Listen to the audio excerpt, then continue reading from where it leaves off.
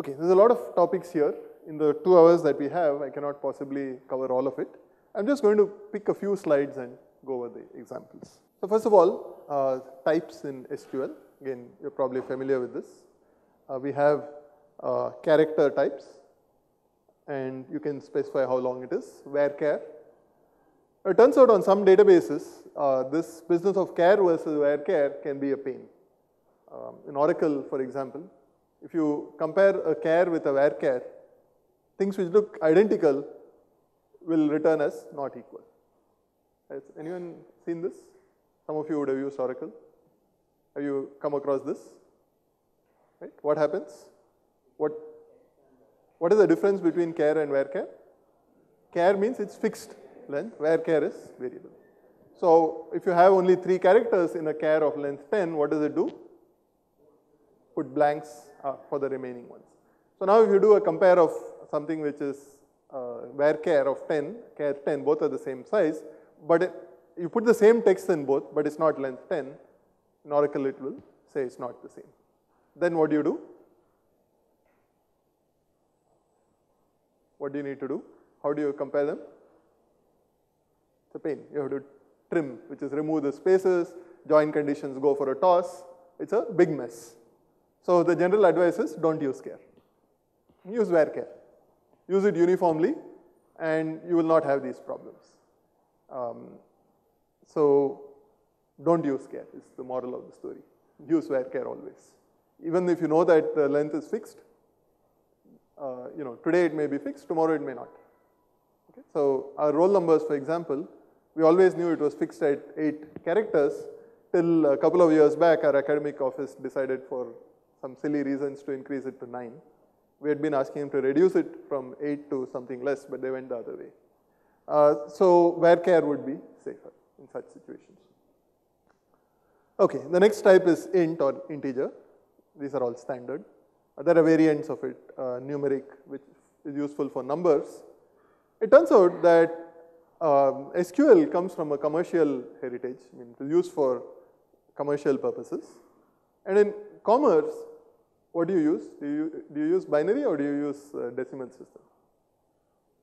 Decimal, right? And does this actually matter whether you use internally binary or decimal? Why don't you just use uh, floating point or real or something? Does it matter? It turns out it matters sometimes because certain things can be represented precisely using decimal but not using binary. The uh, string becomes very long or infinite. So if you convert something from numeric to binary and back, sometimes you get into trouble. So in IIT, we had developed uh, software for the academic office.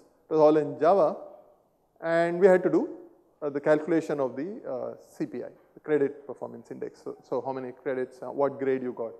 So average it out. And for the longest time, academic office would come back and say, your program uh, is all wrong, it's giving wrong results sometimes. And we were mystified. It's a very simple program. What can go wrong in a small loop which uh, you know just does average? It's not even a loop. It's, uh, yeah, it was done as a loop. It could have been done in SQL, but it was done in Java. It's a very simple program. So what could go wrong? It turned out that they were turning, storing it as a real in Java, floating point, and then converting it back to decimal at the end, and the academic office was using a calculator. And guess what? That calculator used actual decimal, and they got different results. So what do you do? What do you do in such a situation? Curve? No. No. So the bottom line is if you want the, to get the same, I mean, you could, one level you could say, I don't care. Okay, but at a different level, um, you, so the problem happens because you're rounding it off to two digits or something. If you go to n digits, the difference is infinitesimal there. When you round off, it might go up or down. And some people get bothered by this. It doesn't matter in some sense, but it does in another. So anyway, what we ended up doing was there is a numeric package for Java. We use that, which actually does computation. In software, it keeps the decimal and does stuff. So anyway, uh, so these do matter in the commercial world. Numeric types matter. So now here is a standard example uh, for our uh, schema diagram which we used, uh, we had an instructor relation. So this is the schema we actually use. This matters in the lab because you're going to be inserting tuples and so on. So the types matter here. If you see the ID of an, we have made it 5. Unlike IIT's 8 or 9 digit, we kept it short at 5. We didn't want long strings cluttering up examples in the book. We made it char. Maybe we should have made it varchar. Um, name is varchar and we have said it's not null. It cannot take the null value. Department name we have made varchar. Um, salary numeric because this is a business thing. And now we have insert into instructor, we can give values out there. Uh, note that we are giving a string value for character, uh, so they are quoted, but for numeric, you should not quote it. Sometimes people flip, forget this and get into trouble. And then we have integrity constraints on these. Um, again, you must be familiar with most of these. The not null integrity constraint we just saw. Primary key is again a standard feature. And primary key in SQL also implies not null. You cannot have a null value for a primary key attribute. And foreign key ensures what? What does it ensure? Yeah, what, what is the point of reference integrity? Depends on primary key, yeah. The point is that a value present in a table cannot be arbitrary. It has to be one of the values present in the other table. Hmm? Yeah, new uh, values are not permitted because if you allow it, you have chaos. So on uh, Facebook, many of you would have entered your uh, education institution and so on, right? Uh, maybe a restaurant you like, whatever. Did, did Facebook in, enforce anything here, any uh, foreign key restriction? Let uh, put in any text you want, right? Well, they realized after some time that they were messing up, that they could not get uh, review for a restaurant because it's referred to in a hundred different ways. So one of my friends is actually in charge of uh, uh, a feature in Facebook, which helps users to correct these later. So at some point they'll be asked, well, you entered the review for this, did you mean, the, is it the same as this one? And they are trying to standardize it. So they're cleaning up after the fact. Now, if any database person could have told them, hey, you guys are screwing up, you are going to get into trouble. Uh, but, well, they did it anyway, this, and they got into trouble, and now there's a lot of work. Um, it's keeping my friend gainfully employed, um, cleaning up after the mess. Okay, so in databases, of course, I've known this for many years, and foreign keys constraints are enforced, but for a small caveat. And that is, if you make a field null in a foreign key, it no longer has to be present in the other one. So that's an escape clause. Has to be present or maybe it is null. So this is something you have to keep in mind. Unless you declare it as non-null, then you will actually enforce that it is actually present. By default, SQL allows it to be null. We have these other tables, uh, student, which has department name, which is a foreign key referencing department, um, all these types are fairly standard. Um, we have a student a table takes this student ID to takes this course ID, section ID, semester. You note here that year has been made numeric 40. Now we could have done it differently. SQL has a date type. Um, and then there are some extensions which say it has to be a date with an accuracy of a year, but not more precise than that. Uh, but for simplicity, we just, and there are some non-standard, uh, different databases do stuff differently, Oracle being one of the culprits. Um, so uh, I think Oracle, least as of some point, did not support the date type. It only had a timestamp or date and time type. So uh, we chose to keep it simple with a numeric field. And what else do we have here? We have primary key declaration, which says these four fields together constitute the primary key of takes. And foreign key can also involve multiple attributes. Course ID, section ID, semester year, references, section. What is the order of these attributes? Does it matter? It does. It has to match the order of what?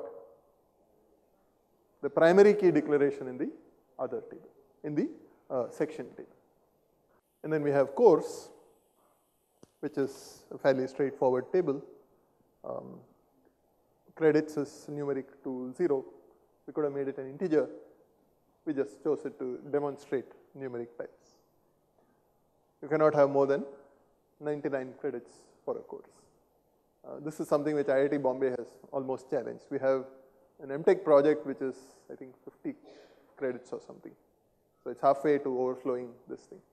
So this design is, uh, you know, sometimes you make a decision and then you may have to revisit it. But luckily, most databases will let you change the type of a already existing table. So it doesn't mean you have to rebuild the whole thing. Okay. Uh, couple of questions. Primary key constraint ensures that primary key values are not repeated and and are not null. And the foreign key constraint on course ensures all departments have associated courses. No. Remember the order in which it is. Department name occurs in the department relation. That's all that this enforces, unless it is null.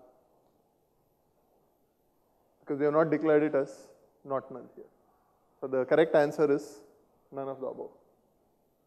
It should be unless it is null. Okay. Uh, there's always, uh, we saw creating table, we can drop table. Alter table, I won't get into the syntax details, um, but you can change the types, add and drop attributes.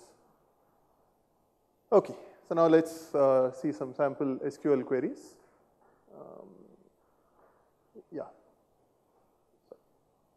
Look at this query here. Select distinct department name from instructor. As we saw, distinct removes duplicates. Now, this is a common error when you ask students to, you, you give a problem and say, write this query. It's implicit in your mind that you don't want duplicates in many cases. And this is something which very often students forget. Not only students, instructors also forget. I have given assignments where, you know, I just said find the names of students it was implicit in my mind that there should be no duplicates.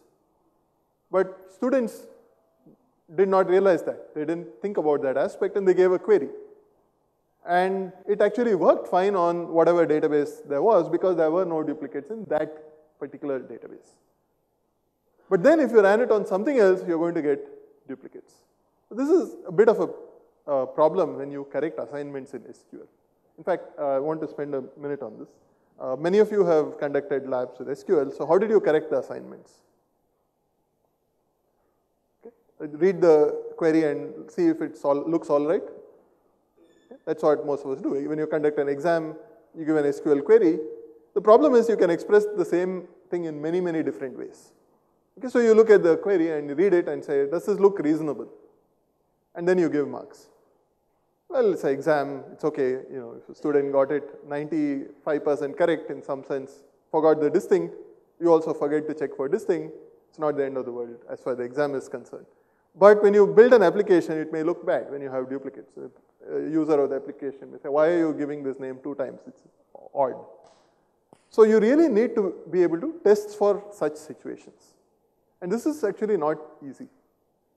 So uh, somebody was uh, talking to me about research um, so this particular problem, how do you check for correctness of an SQL query? How would you do it? What are the other alternatives? It's a good research topic. Right? You can read it, that's totally manual. Is there some other way? There's an obvious way, right? Many people use this. What is it? It's not for an exam, but for a lab assignment where the query has been entered and provided to you. It's all online. What can you do? You can go execute the query on a database and see if it gives the right result. Is that enough? Yeah. Yeah. Testing with different test cases. You really need to test with many test cases. How many? What is enough? Okay, there's no simple answer to that. Okay? So this is an interesting research problem. And this is something which we decided to work on a few years ago. and we have a few publications in this area. So uh, at the risk of again digressing from this, um, what we have built is a tool which looks for certain common errors. What are the common errors? Uh, we'll see some more common errors as we go along. Distinct is one of them, which we just saw.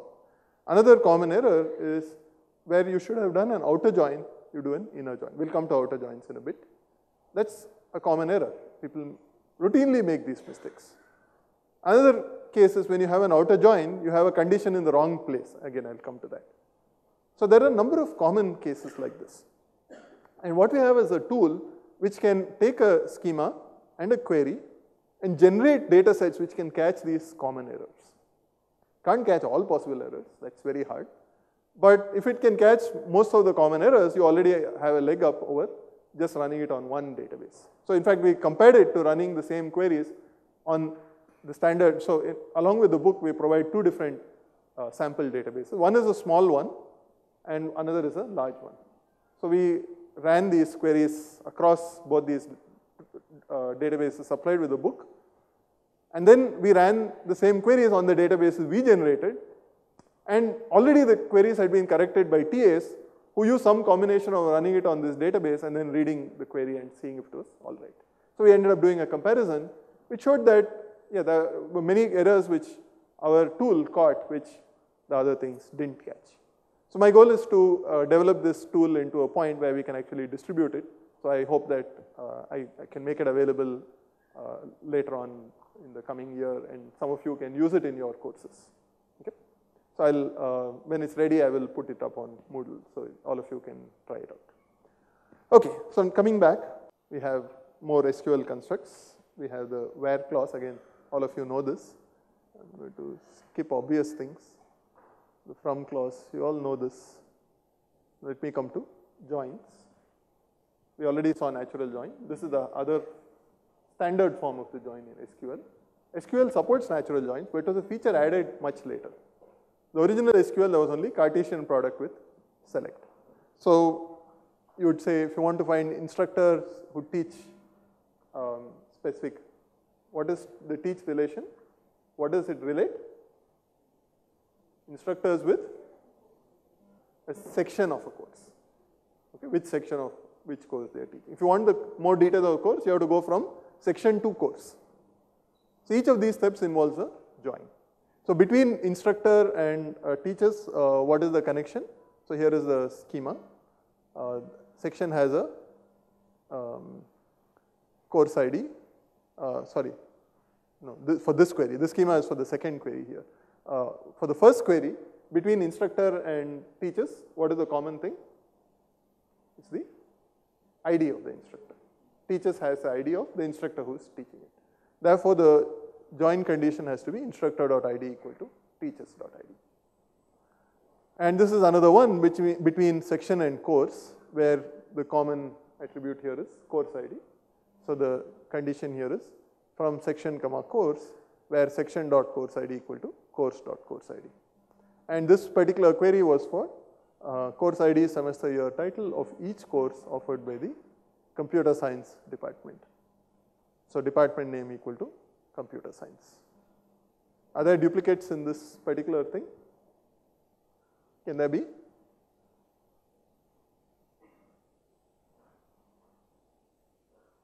Yes or no? Uh, it depends on the schema. You have the schema for section there. Look at the list of attributes in the select clause. So how can there be duplicates over here?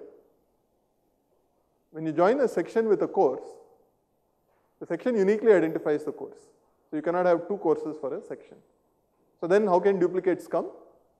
Depends on what attributes you project. If you project all the primary key attributes, there cannot be duplicates. Have we projected all the primary key attributes here? Have we? What is not section ID? Okay, section ID, if you look here, the primary key is shown here, course ID, section ID, semester year. But section ID is not occurring here. Okay? So there can be duplicates here. If a particular course is offered twice in a semester, you will have duplicates. So what should we have done if we didn't want duplicates? Should have been a select distinct. Like I said, this kind of error can happen and there may be examples. I, I don't remember if this one is in the book or not, but it's quite possible there are a few mistakes like this in the book. So if you catch any, let me know. Okay, so when I said SQL tutorial, the idea is that um, we can have an interactive session. So why don't you suggest some queries and let's try writing them. So what I'll do now is show the schema. Let's go back to that one. I'll leave this on the screen and let's have an interactive session. Anyone uh, who wants can suggest, uh, let's start with very simple queries, all using this schema. Okay, I may make mistakes. If you catch them, very good. And when you teach this course to students, I'm sure you will also make mistakes. If students catch it, that's fine. That's part of life. Nobody is perfect. Um, but it's important to run these, even at the risk of making mistakes, it's okay. So let's do it. Some useful information which you may get from this particular schema. Yeah. So what are the prerequisites for a particular course? So let's say the course, pick a particular course, say CS 101. Well, 101 probably doesn't have prerequisites. But let's say our database course, which is, uh, we have to identify the course explicitly. So let's say in IIT Bombay, that would be CS 317. So we have to find out the prerequisites of 317. So how would you do it from here? You can walk through the schema diagram and that will suggest to you what are the things that you need to do. So from 317, what can you match here? So you can, you have a, several options here. You could match course ID in course or you could go directly to prerequisite and match the course ID. So now if you use the latter, it's actually a very simple query. It simply select prereq ID from prereq where course ID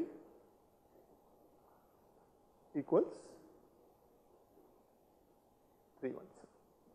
Okay, so that's a very simple query. Okay. Now let's try some other one. Any suggestions? Raise your hand if you have a suggestion.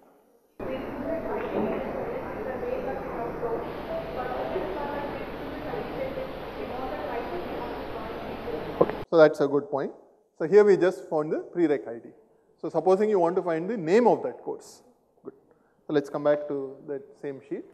How can we modify this particular query? We have to connect it to the course. And what is the connection between these two? Prereq dot Prereq dot course ID equal to course dot course ID. So the question is, do you want the title of Even the, the database of course the or course. of the prereq? Prerequisite. So then what should be? Prerequisite ID. We should match with the course ID in the course. So prerequisite dot pre- prerequisite ID equal to course dot course ID. Exactly. Yeah. So prerequisite dot prereq ID equals course dot course ID. And so that is the join condition. And along with the title in that. Right. And that gives the complete That gives information. the complete thing with the Yeah, course along ID with the and title title and the of the prerequisite. Good. Next one. Okay. So the question is, select all the instructors who teach in a particular building. So this might be important because maybe some work is going on in the building. You want to tell them, watch out for something. So where is all this information available? So first of all, you need to know which courses run in a building. So where is that information available? Building is there in the classroom relation. And from that we can go to the section relation. From that, teach. From that, instructor. So we have a lot of joins. So that happens often in SQL queries. So what is the query one would write. I wish we could have both screens around at the same time, uh, but I'm forced to switch. So just remember this. Uh, what is the connection between classroom and section? Building. Between section and takes, lot of things have to be connected. So I'm going to use the natural join construct in SQL to do this because it simplifies life. Okay, so uh, we could equate each field, but it's easier to do the natural join. And then from there to uh, takes, uh, sorry, teaches, from teaches to instructor. Okay. So uh, before that, let me uh, uh, remind you of the natural join construct. Yeah, so this is the syntax for natural join in um, SQL. So this says select star from instructor, natural join teaches. Now note that if I want to do multiple natural joins, I can nest them. So I can say that natural join something else and so forth. Okay, so I'm going to use that and going back to the, oh there is one other issue with natural joins. I'll, we should be careful with natural joins, but I'll come back to that. Okay, so what all natural joins can we take? Classroom, Excuse me, sir. yeah. Can we uh, throw light on rename clause first before we go to natural join? Because Yeah, all uh, relations may not have s- same names. Yeah, so I'll, Would be much better. I'll come to that in a bit. But just to simplify writing this particular query, I jumped ahead to natural. So uh, what do we do here? Classroom, natural join section. So that will force what? Building is already there in uh, section, so we don't actually need to join with classroom. So if you had a building name, then you would have to go through that. Yeah, that, that's a good point. We don't have to do this. So you can have a redundant join in a query. Okay, student might write it by including a join with classroom, it's still correct. Okay, so in this case, we can skip that particular join. And we can go directly from building to, uh, in section to teaches. So section, natural join teachers. And all the four common attributes there will get equated. And then from there to instructor. Uh, so that again, if you do a natural join, ID will be equated to ID. So that's a slightly simpler query. Select name, which is instructor.name, from section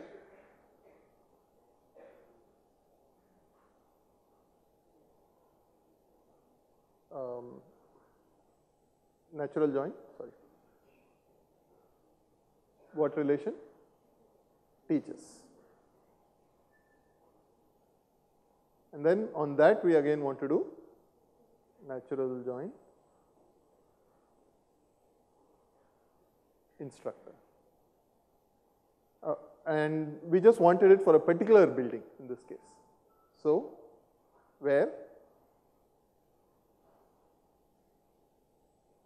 building equal to, let's say, a lecture hall complex. LHC is the short name for this particular building.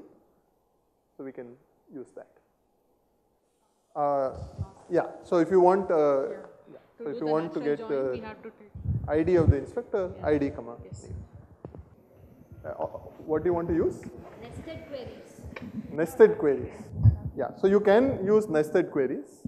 Um, there, there is a use for it, but you should not overuse it. So there is a, one reason for not overusing nested queries is that uh, some databases are not very good at evaluating nested queries efficiently. So use it when you need it, but don't use it unnecessarily, uh, or your query may run slowly in certain cases. Ideally, it should not matter how you write an SQL query. You, so there are many ways of writing it. You can uh, use nested queries. You can't always do it, by the way. Uh, for a join like this, a nested query is uh, probably not the right way of doing it. Uh, it's, you have to connect three relations. So there is no natural way of doing this with nested queries. But in general, don't uh, use it. But in this particular case, uh, how would you write it using a nested query? Instructor where ID equals select ID from teaches, where session ID equals session, select session ID from uh, session where building equals so and so. Okay. So uh, already there is a problem with that. When you say equals, you have to say in because there may be multiple things. Yeah. So you can write it using nested queries and a good optimizer would convert it. Uh, but uh, it's usually better to write it directly as a join. So when you go through that uh, schema diagram, you know what all things to connect, turn them into joins. Don't write it as nested queries. It's easier to write, read this query than the other one with the nested queries. Okay, good. Any other one? We'll move on to other SQL constraints. I'll take one last one before we move on. A join in general is better for performance. Uh, like I said, a good optimizer should be able to figure out, even if you write it with the nested queries, that it is really equivalent to this other one with joins. And both should run with the equal efficiency, ideally. Uh, but the fact of life is, uh, you know, there are very few optimizers which will always work properly on nested queries. They will handle the simple cases, but more complex cases, it depends on the database. So we are using PostgreSQL, which is actually not all that great with nested queries. Uh, it doesn't do as well on many nested queries. You will not see that performance difference on the tiny database. But when you have a large database, that is when you will feel the impact. Uh, Oracle is a little bit better. Microsoft SQL uh, Server is much, much better at optimizing nested queries. So this brings in the issue of query optimization. We don't really have time to cover it, but we will cover query plans uh, in the main course, even in the labs here. So you can see what are the plans. So some of the plans will correspond to actually doing it in the nested fashion as written. So that query which said select from instructor where uh, the instructors and the teachers, where the building is, uh, so and so, uh, where, where the teachers in section. So the natural way is to go over each instructor. For that instructor, go over each uh, teaches relation, uh, tuple which matches it. For each teaches relation, tuple matches it. Go to the section and then compare. So it's like a set of nested loops. And if you don't have the right indices, nested loops can be very, very inefficient. Um, it can be uh, you know, quadratic or cubic if you don't have the right things. It is possible to rewrite this with a much better plan which is actually uh, close to linear in the size of the relations. Ideally, the database should figure this out. If you do it as joins, it's very easy for the database to do it right. You, if you write a query as joins, pretty much all databases will figure out a good way of doing it. If you write it as nested queries, it depends on the query. Sometimes they will do a perfectly good job. It will be identical plan to whether it's join or nested query. Sometimes it's worse. But join is usually much better. Yeah. Uh, whether that uh, source databases, uh, is it not comfortable with that large databases, for example, data warehouses? Open source and data yeah, warehouses. You you were talking about uh, SQL, MS SQL as well as uh, Oracle will give some good results. So the optimizers are slightly better than the PostgreSQL optimizer in oh. this context. Oh. Uh, so uh, in overall, the SQL Server optimizer is a very nice piece of work. It can do some really clever stuff on your plans and get very good plans. Um, Oracle is not quite as good, but it's not too bad. Postgres is also not bad. It does a pretty decent job on nested queries, but probably not as good as. What about MySQL and all? MySQL is uh, probably a little lower down in the picking hierarchy. So maybe comfortable for small databases like that. No. So, like I said, eh, there are two parts. One is the efficiency of doing a particular operation. And here, MySQL is pretty good. The other part is if you give it a complex query, can it find the best way of running that query? And there MySQL traditionally had not been as good as the other ones. In fact, it really sucked some years ago. But they have obviously improved things, so it's not so bad now. Um, but PostgreSQL is, I, look, I don't want to compare these things, but I think it's probably one notch ahead of MySQL for this. Now, if you want to handle really large data, there are two parts. One is coming up with good plans, the other is actually executing queries on very large databases. Now, all of these can handle very large databases. On a single machine, they can handle, you know, uh, databases with many hundreds of gigabytes. But of course, it may be slow. And people have built parallel systems using these. Some of the uh, largest parallel databases have been built with MySQL or PostgreSQL underneath. There are also parallel uh, databases with Oracle or SQL Server underneath. But because these are free, you know, if you buy a thousand copies of Oracle, you will go bankrupt. Okay? So a thousand copies of PostgreSQL costs still zero. So some of the largest uh, data warehouses in use today are built on top of these. Because one of my students asked me that uh, how we can evaluate the performance of- the database. Is there any tools are available? For example, uh, how many seconds or nanoseconds taking to complete that particular query like that? Yeah. So there are benchmarks. You can run uh, your benchmarks on the database. There's a family of benchmarks called the TPC, Transaction uh, Processing Council benchmarks, uh, which are widely used. So you can uh, download them and run them on your favorite databases and compare them on whichever machine you want. Um, but the bottom line is uh, it depends on the application.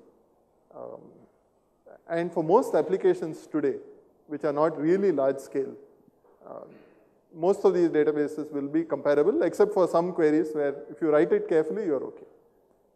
Okay, let's come back to SQL. Yeah, we saw the natural join. And I mentioned that natural join can be dangerous.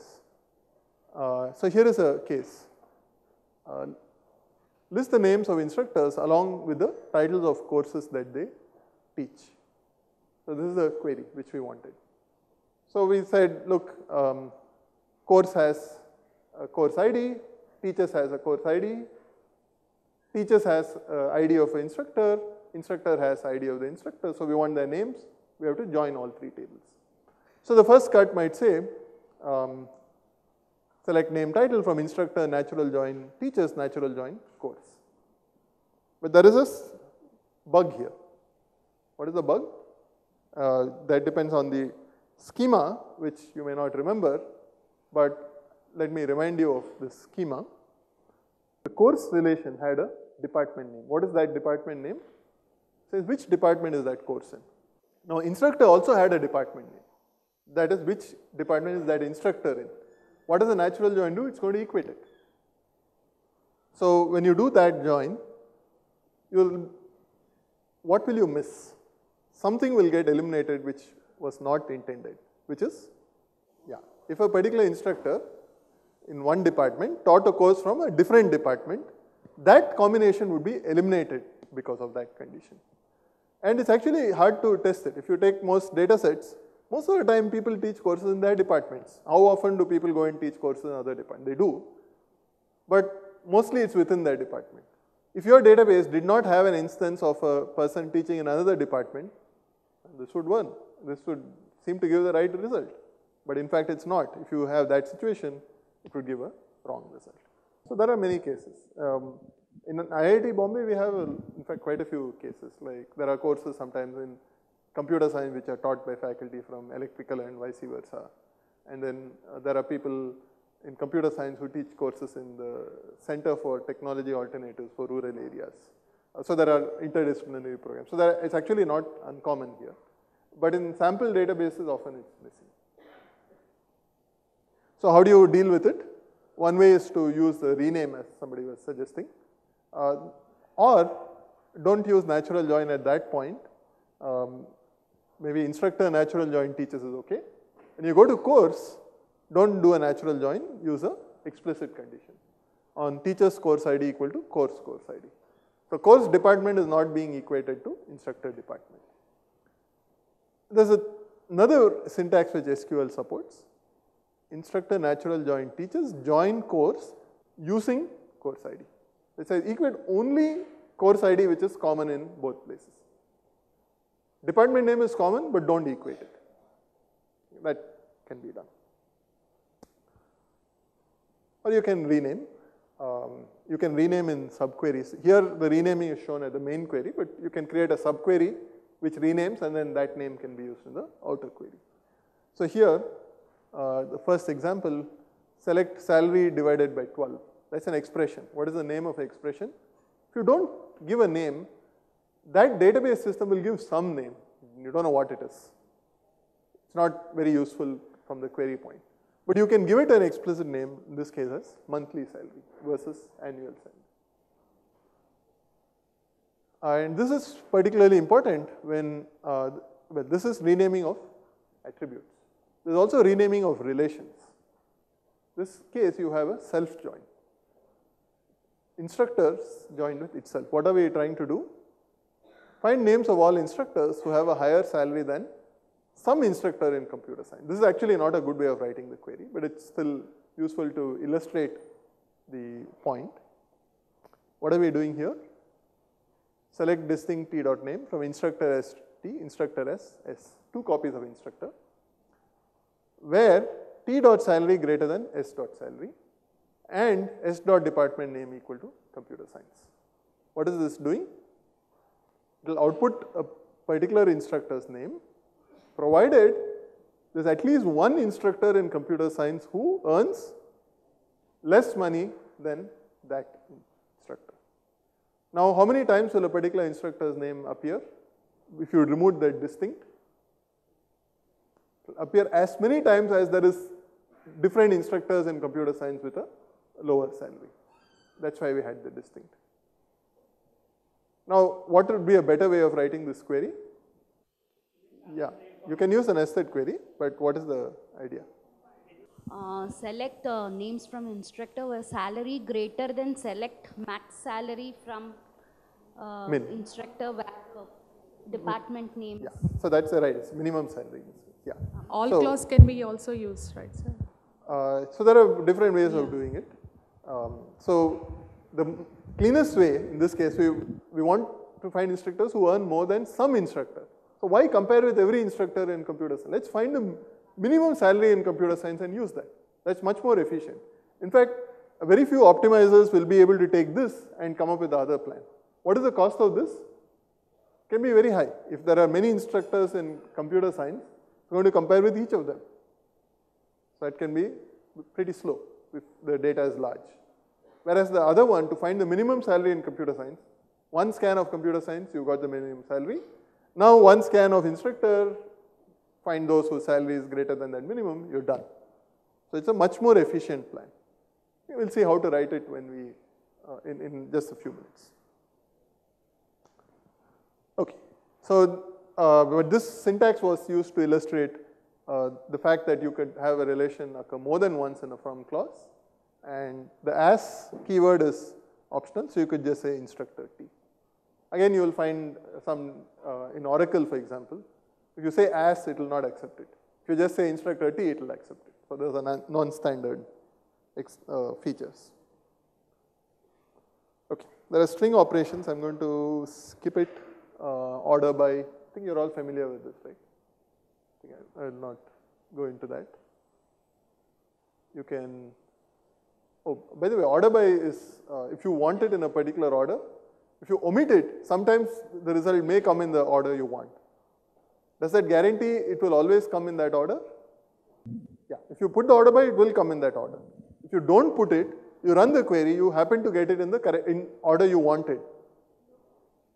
It just happened to be true at that point. So the question is, if you run this query again on a different uh, instance of that database, will it still be ordered? And the answer is not necessarily. Why? What is the default order? If you don't say order by, what is the order which SQL guaranteed? Descending, ascending? No. Some order. Some order. We don't know. Uh, order not exactly random. Depends on what particular query execution plan the optimizer chose. So different plans might give different orders.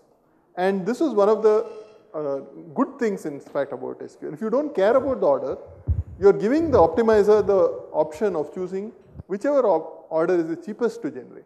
So the query can run faster. Now why would you not care about the order? Mm, here you might when you're printing it to the user. It's usually good to have an order.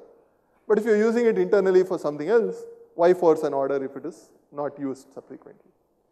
So there is no guarantee about the order unless you put an order by clause. And the plan might change depending on the, uh, if you put more tuples in a database, a different plan might become the cheapest and then the order might change. Okay, um, I'm going to skip these queries which are set operations, union, intersect, except. Spend a minute on null values. What is 5 plus null? Null. What does null mean in some sense? I don't know what the value is. How do I check if a value is null? If I say equal to null, So the query here says uh, select name from instructor where salary is null. Supposing I say salary equals null, what will happen? For anything which is not actually equal to null, equal will fail. What about if it is actually equal to null? Is null equal to null? Null equal to 0? No, no, no. Of course not. So is null equal to null? What should null be considered as equal to null? Shouldn't.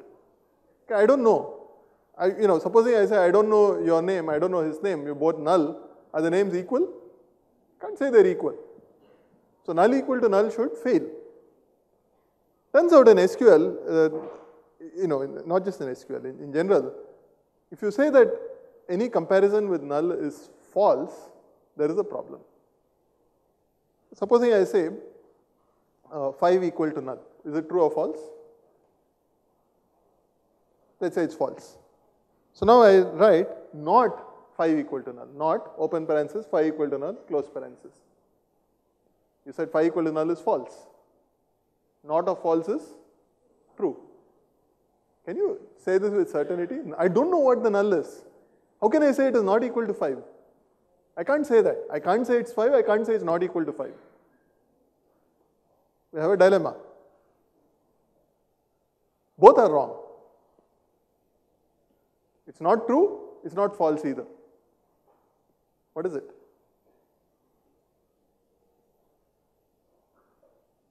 If I have a comparison, 5 equal to null, it's not true, it's not false. Both are wrong. What is it then? Hmm? It's null. Yeah, it's a particular, so for booleans, null is called unknown. There's a specific word there. So it's not true, it's not false, it is unknown. Okay.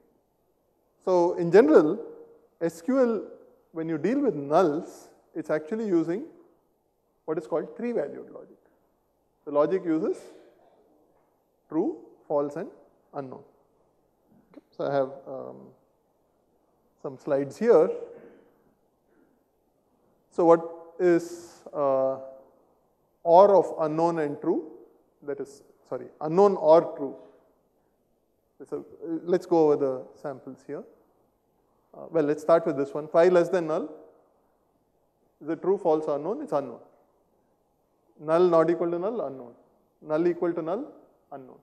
So in contrast, in this query, if I said salary equal to null, it would be unknown. But I want to check if salary is unknown. Therefore, SQL offers a special syntax which says is null. Is it unknown? Yes. If it's null, it is null. But it's not equal to null. So coming back here, unknown or true, it's or, so it has to be true. Unknown or false, it has to be unknown. regardless of whether, uh, eh, you know, uh, okay, take this case. Um, unknown or unknown, again, I don't know what it is, it's unknown. True and unknown, again, I don't know what it is. If unknown is false, it's false. If unknown is true, it's true. So it's unknown. Uh, false and unknown, doesn't matter whether it's unknown is true or false, the other false will make the result false. So false and unknown is false. Similarly, unknown and unknown is unknown, not of unknown is unknown. This was important. And you can also say P is unknown, just like we say is null, you can say is unknown. Now all this is fine, but eventually when you write a query uh, which says um, select star from this where name, uh, so sorry, whatever, uh, let's say salary equal to 500 and a particular salary value is null. Okay. So what can I say? Null equal to 500 says unknown. Now that is the where clause. Is this row going to be output or not? We don't know. But we have to make a choice because um, SQL does not have the ability to carry forward a tuple which may or may not be in the result. There are some extensions which people have proposed which let us carry this further. We can tell the user this tuple may or may not be in the result, I don't know. But SQL doesn't allow it. It only allows a result, tuple to be there or not there. So at this point, you're forced to make a choice. So finally, we can carry this uh, three valued logic as far as we go, but finally, when we apply a select in, in the relational algebra terms, the select operation, is this particular row going to be in the output or not? SQL will output it if it is true. If it is false or unknown, it won't be output. So at that point, you make a choice whether it is uh, to be included or not. So the good thing with that is if we had um, say null equal to 5, if we had made this false and then we added a not, it would become true. But now because we carry unknown here, null equal to 5, unknown, uh, not of unknown, unknown. Finally, will the tuple go out if it's part of the where clause? No. Because it's unknown, it will fail. So that's how it works. Okay, moving on. Yeah, we'll come to aggregates. All of you are familiar with the SQL aggregates, min, max, sum, count. And then most databases support many other aggregates, standard deviation, variance, um, even median, a variety of aggregates. So here are some simple queries. Find the average instruct, a salary of instructors in the computer science department. So fairly simple query.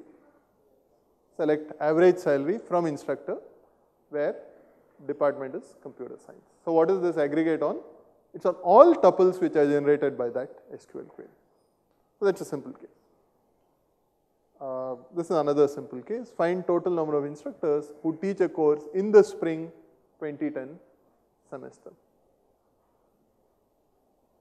So select count. Now note the distinct. You have to be careful there. From teaches, where semester is spring and year is 2010. If you forget the distinct, what will happen? Particular instructor may teach two courses or two sections of a course in the same semester. And then the count will get bumped up. But the goal was to find how many instructors taught a course. Again, you have to be careful here because your data set may not have had such duplicates and the other query may slip through as being correct. So this is important. Um, well, there's also count star, which is just count the number of tuples. Oh, there is a small detail here with nulls, which I should point out. If a tuple has a null value, you know, so should it be counted as being present or not present? Now, if I say, uh, well, count, let's say sum, that's a more intuitive example. If I said here, select sum of salary, and let's say a particular instructor in computer science had a null salary, what should you do? Logically, you should say, I don't know the total salary in computer science because one of the persons, I don't know the salary. But it turns out this is a little pessimistic in the sense most of the time these queries are used to get some overall idea. And because one person's salary is not known, if you say, I don't know the salary, you're being very pessimistic. So SQL chooses a pragmatic approach of saying, I will just ignore nulls when I compute aggregate values. So for sum, what will I do? I will ignore it. I'm not treating it as zero, I'm ignoring it. For count, what should I do? If I include that person, the average will come down. Okay? So for count also I ignore it. Yeah, everything is ignored. Unless you say count star. That will count nulls also. Okay? So nulls are essentially removed before computing the aggregate. What if the set is empty? There's only one instructor in computer science and that person's salary is null. I'm now computing something on the empty set.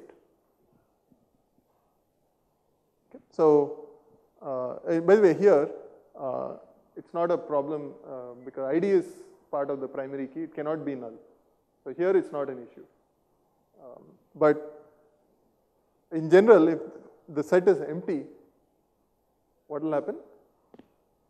What is the result of any aggregate on an empty set? I don't know. Okay. So the result is null. I could say sum is zero, but um, I think on any empty, on any set with no tuple at all, SQL defines it as null. Okay. Now the next uh, basic feature is the ability to create groups of tuples and compute aggregates within groups. So I, am sure all of you have used this. In SQL, the syntax is group by. So this is um, select, find the average value of instructors in each department. So here I say select department name comma average salary from instructor group by department name. So what does it do? The group by breaks up the input that it gets from the previous step. Here it's just from instructor. In general you may have from multiple relations, where clause. So all that is done to get a set. That set is taken here and then broken into groups by the group by. How does the group by do it? In this case, department name. So all things with the same department name form one group. You get multiple such groups. For each group, we compute the, in this case, the average salary and output it. Okay, this is a simple query. Now, supposing I say select name, comma, department name, comma, average salary from instructor group by department name. So, the only change is I add name in the select clause. What will happen? Okay, so uh, what, what is the logical problem? We'll see that first and then see what SQL does. What is the logical problem? Problem is that in a group, there may be many people with different names. Which name do you put? Okay. So in SQL, it's a syntax error. If you try to output a value, which may vary across different members of the group, it has to be inside an aggregate. If I say average name, well, average doesn't make sense on strings, uh, but if I say min name, then I can do that. That is correct. There's a unique value for a group. But just select name is a syntax error. So the SQL engine will reject it. Now you are suggesting select the minimum name or the first name. If you want the first name, uh, traditionally SQL didn't have it. More recently there are some extensions which, uh, by the way, it's a little trickier. What do you mean by first name? I said things are unordered in SQL, right? So what is the first name? If you mean the minimum name, you can do that. But if you mean the first name in some other order, let's say the first name by uh, salary or something, there are some extensions to SQL now, not supported by all databases, which will even let you do other tricks. You can say order it by salary and find the name of the first person, the one with the least salary. So there are some other things, but we won't get into that. Okay, any other questions? By default, it is showing ascending order. If the No, group no, by no, no, no. So by the way, uh, this is simply for our convenience of uh, showing it on the slide. There Yeah, is absolutely no nothing to do with ordering order. by default. So is there anything, if I wish to make them order, shall I associate uh, order by with the group by? Yes, you can, not in the group by. You can add one more uh, line to the SQL query, order by department name. So here, why did I sort it on department name? Because it would bring all the people in the same department together, which is what I want. So it may happen that the SQL engine does the same thing. It may sort these things so that all instructors with the same department are adjacent. So then it can scan it from the top. Okay, the first one is biology, is the next one biology? No. So that ends the biology group with only one row. Find the average, output it. Next one is ComSci, keep going as long as there are ComSci. Keep accumulating the sum and the count. When it changes from ComSci to electrical engineering, I can compute the sum and the count, divide and output the average and keep going that way. Internally, many databases would do this. They would sort. But they don't have to sort. There are other ways using what is called hashing, which would also get the same result, but now there's no guarantee of the order. And even if they sort, they may sort it in the opposite order. You don't know. It could be either order. Any other questions? Any restrictions are there? And group by section. What you can use in the group by? For by? example, uh, if I'm using uh, the field which is not available in the selection, uh, selection class, if I'm using that same field, some other different field in the group by, will it work or not? For example. Okay. So supposing I drop department name from the select, Yeah. but keep it in group by, that is fine. The only thing is you will get many average salaries. You don't know which one is from which department. But if that's what you wanted, well, SQL will happily give it to you. Uh, so there's no restriction that something in group by must appear in the select clause. But the other way is required. If it is there in the select clause, should either be aggregated or present in the group by.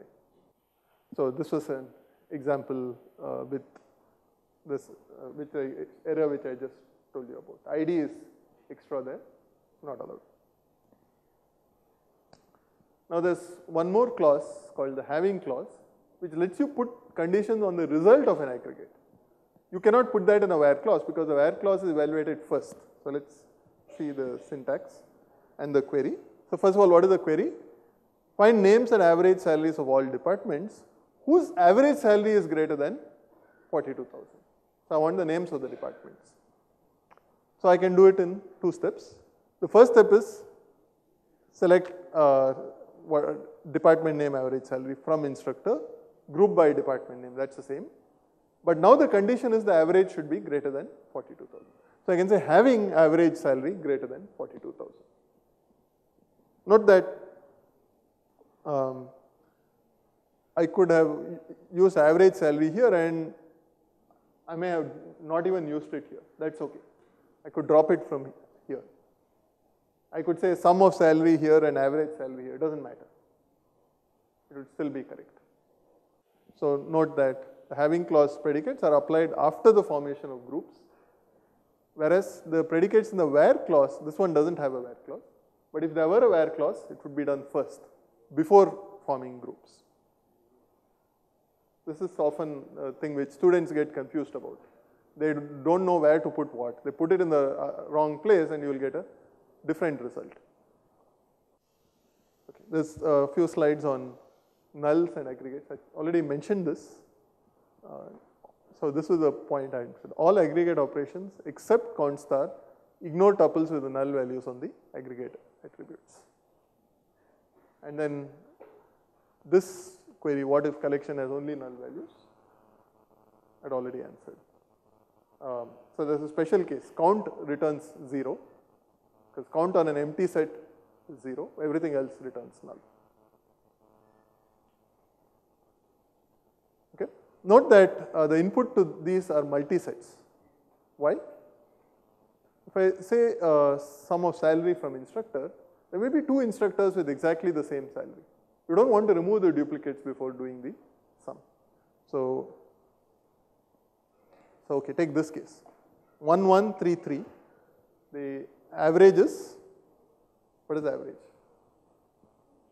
2. Okay, if you had treated null, I remove the null from the um, sum but not remove it from the count, then you would get a different thing. 2 is the answer, but if you kept the null when you did the count, you would get a wrong result. So you have to remove the null from the count also to, in order to get 2.